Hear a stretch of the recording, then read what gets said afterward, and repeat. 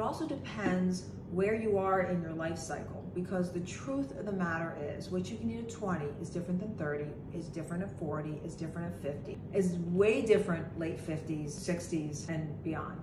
It just is. It's just a fact. And no one wants to hear the raw truth. They want to say, well, why can't I eat that? It's all natural. What do you mean? It's not packed. Why can't I eat that?